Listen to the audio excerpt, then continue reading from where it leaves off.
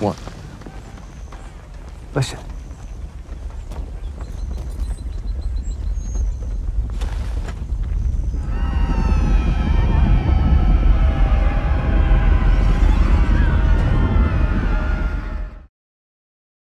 Hey YouTubers, this is going to be my episode 4 video. We can finally talk about it freely. Just careful for spoilers if you haven't seen it yet.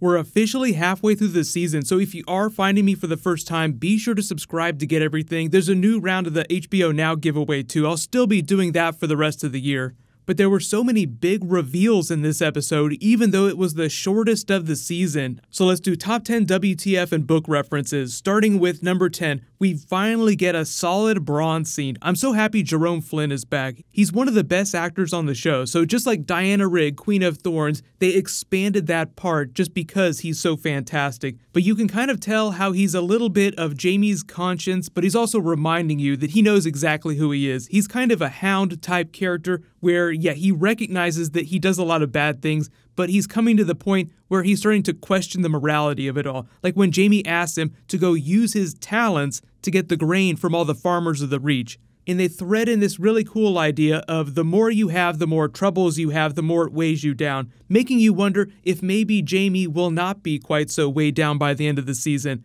How much longer is it going to be before he takes that Cersei chain from around his neck and throws it on the ground? And by the end of the episode, Bronn sort of sees his gold sack lying there, leaves it, so it implies that he's going to be much more free for the rest of the season too, less burdened by some of the more terrible things that they've been doing the last couple of episodes. Another well-timed Rickon joke, triggering everybody again. Rickon? No, Dickon. So Jaime is like slowly showing his true colors. Like he'll come around eventually, he just hasn't quite got to that point yet.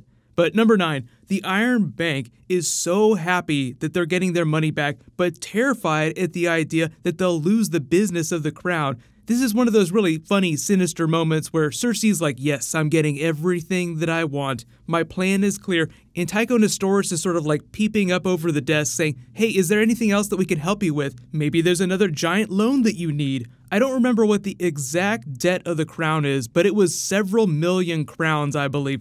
Like it's just meant to be this astronomical figure that you could barely fathom. Literally everything they have used to repay this debt overnight. So they're just like, this is amazing, but please let us give you another loan so we can start collecting on that one too. We love making money off of you guys. As great as that is, the really big thing here though is the name drop of the Golden Company. So if you're not a book reader, the Golden Company was actually formed by Blackfyres after the Blackfyre Rebellion Daemon Blackfyre, the last known possessor of the blade Blackfyre that belonged to Aegon Targaryen, which rightfully belongs to Daenerys now, was driven into exile after the first Blackfyre rebellion. He passed that along to his descendants. The sword ended up being lost, but the Golden Company became this amazing mercenary company that would just relentlessly pursue their target. They have a golden reputation for delivering on their contracts. So the Iron Bank says, oh yes, we use them to collect on delinquent loans. Cersei implies that they're going to be hiring them to bolster their forces, and now it sounds like they definitely need them because of all the troops that Daenerys killed. No idea if they'll include Jon Connington or if they'll include any Aegon references. They might wink at that, but because they've been rushing the story forward so quickly, I think they're mostly focusing on the Jon Snow Targaryen reveal, so I don't think we're going to see any surprise alternate Targaryens popping up. But number eight, chaos is a ladder. Bran knows everything. So we've talked about this in previous videos. What are Bran's powers? What does he know? Does he secretly peep on everybody in Westeros? So the way that Bran explains it is that he knows everything that's happened. But the problem is, is that he can't focus on it, and he's so inhuman now that it's really hard to communicate with him effectively. But within that same breath, Littlefinger gives him the cat's paws Valyrian dagger that was used to try and kill him during season one, and it seems like he's just trying to butter him up. Like he thinks that he's going to become the new Lord of Winterfell, so I better get in good with him. I better start working my claws into him the way I'm working them into Sansa. But if they haven't been clear before, this episode definitely wanted to let you know that the Stark children are starting to become a wolf pack, and Littlefinger is the lone wolf now. So lone wolf dies, pack survives. The important thing to remember, though, is that even though Bran knows everything that Littlefinger's done, his role in Ned Stark's death before anybody could revenge kill Littlefinger, they would have to prove his treachery to the other Lords of the Vale, so they would continue to back Sansa and House Stark even without Littlefinger around. His role in Jon Arryn's death would be a really solid way to do that.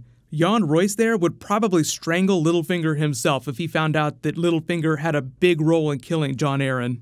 So depending on what happens, we can revisit that stuff, but it's all callbacks to season 1 this season. They reference a lot of Arya stuff from season 1 in the episode, so when it comes to Littlefinger's downfall, it'll probably have something to do with what he did preceding or during season 1. But love that Bran Meera scene. He is such a dick. You died in that cave. They just want to make him seem like he's gone full blown Dr. Manhattan. He's lost his humanity. So Meera is out of there. We're probably not going to hear from her for the rest of the season. We might not even see her during season 8. Maybe when she gets home, she could tell Howland Reed to come show up and tell everybody about Jon Snow.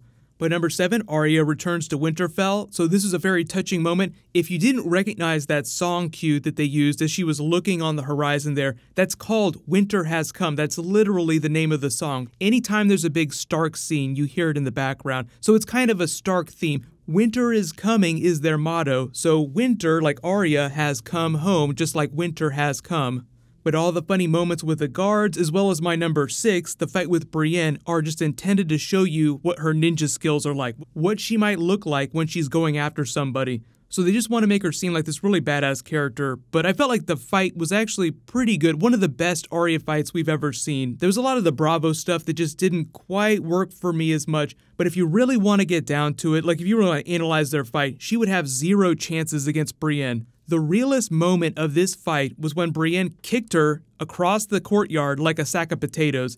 She would crush Arya no matter how fast she was, but you have to imagine that there's a certain magical component to Arya's abilities, so that could explain why someone her size could take on someone Brienne's size. And there were so many references to Syrio Forel in her technique here. Most of her training came from the House of Black and White. So when Brienne asks her, Who taught you how to fight like that? and she says, No one, it's a bit of a wink at the House of Black and White, but she's holding her blade like Syrio Forel and the Braavosi water dancers. So they just want to let you know that she still remembers all the things that Syrio taught her, as well as what she learned in the House of Black and White.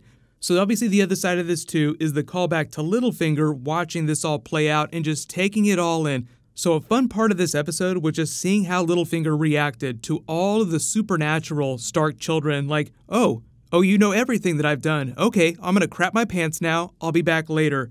And then as surprised as he is by Arya's actual abilities, he also notices that she has the dagger that he just gave to Bran, making it pretty clear to him how Bran feels about the situation. Like, I don't care about this dagger, I don't care about you, and I know everything that you've done. So Littlefinger is just being backed into a corner slowly. But number five, Stark reunion. So there were a couple reunions. You have Arya and Sansa in the crypts, then you have their reunion with Bran. So these could have been the worst moments of the episode, and I feel like this Winterfell plot relies on their chemistry together so if their scenes didn't work, you'd be forced to sit through a couple more hours of them together for the rest of the season. So it could have been really bad if it didn't work out. But I think that Maisie and Sophie Turner did a pretty good job with their scenes. They do a good job through their performances of letting you know what their relationship has been. They've never gotten along, they've never seen eye to eye. They've always been so different, but now that they've been through so much, the idea is, is that they come together, they form this wolf pack so I wouldn't be surprised if Littlefinger tries to use that to his advantage in the next couple of episodes. We'll see if they actually end up doing that.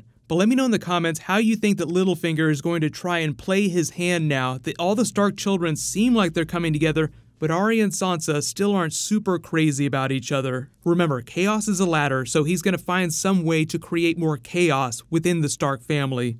But number four, back to Dragonstone. Jon and Daenerys in the cave. This was actually a really great scene. They want to show you some of the chemistry they have together, and I do think that from their scenes so far, they've shown that they have chemistry on screen together. But right up until the left turn that she makes, it just meant to show that they're slowly coming around on each other. Jon Snow is being as genuine as possible. I need your help. I don't think that I can do this without you in that really important line from Daenerys where she says, I will fight for you, Jon Snow. So, a preview of things to come, but not before a bunch of other drama happens between now and then. Like, they don't want to make it seem too easy, even though you know what the end point is. Like, obviously, at some point, she's going to say that and mean it without forcing him to bend the knee.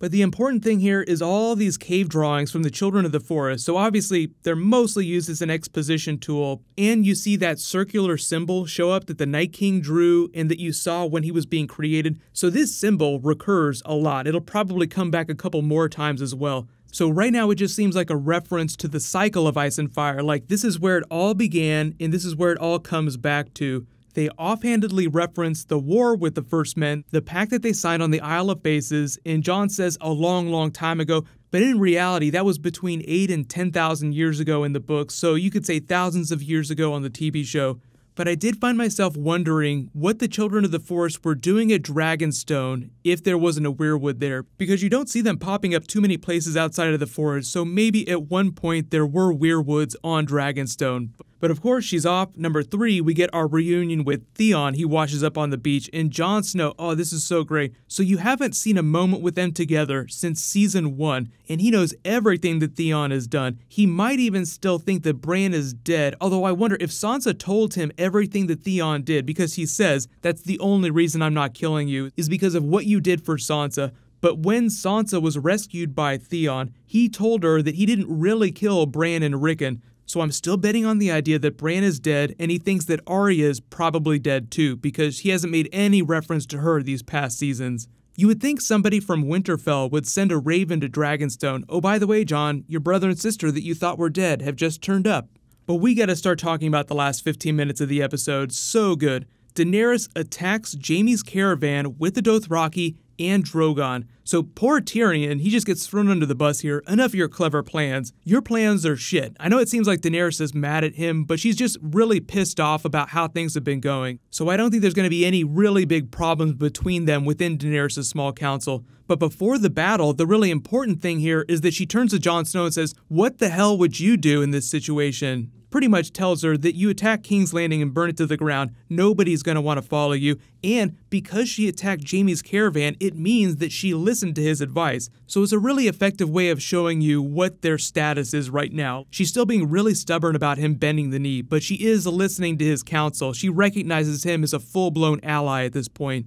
So, the battle, the first real battle that we've gotten this season, and one of the best ones that the show has done so far, even though it's in one of the shortest episodes. You get to see what the Dothraki are capable of, and if you don't remember it, there's this really amazing line that Robert Baratheon had when he said, only a fool would meet the Dothraki in an open field. So even though you have the added effect of Drogon here burning all these Lannister soldiers, you still would have had this thunderous sea of Dothraki washing over them. I love the way they make them sound like the storm. Daenerys Stormborn, it sounds like a storm is approaching just as the Dothraki crest the hill and the dragon swoops in through the clouds. So there's so much stuff going on here, so much exposition that they get across as the battle starts as well. So, just as a reminder, Randyll Tarly rides up right before the Dothraki attack and says, The last of the gold has made it through the gates at King's Landing.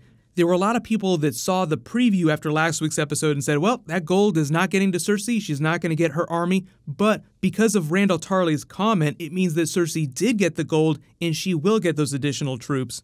So when you see Drogon just burning the hell out of this caravan here, that's all the grain that they collected from the farmers of the Reach. So you see what they did there. They're balancing the playing field. So Daenerys loses a bunch of her army, she takes out a bunch of the Lannister army.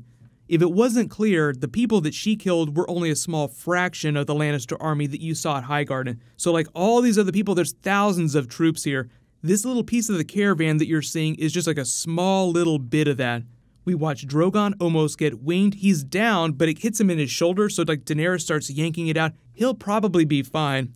But number one, Probably my favorite moment of the episode, though, is Sir Jaime, the Dragon Slayer. He was the King Slayer, now he's to try and be the Dragon Slayer, unsuccessfully. So you see him charging Drogon. We have that great line from Tyrion. And what I actually think is going on here is that he was trying to kill Daenerys, not Drogon. And if it wasn't clear, that's Bronn snatching him off the horse at the end. So they're both fine, but they are at the mercy of Daenerys' army now. So we'll see what ends up happening next. Is he going to be their captive? Are they going to try and parlay with King's Landing? Like, we have your Jaime, maybe we can make a bargain. We'll give him back to you.